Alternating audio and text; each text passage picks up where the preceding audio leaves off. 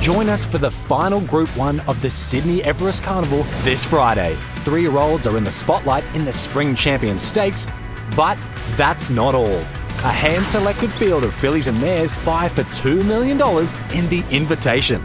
Add in another million dollar celebration of racing's favourite identities, the Group 2 Calendar Presnell, plus the listed Brian Crowley Stakes. And the Group 3 Craven Plate rounds out an action packed card from Royal Randwick.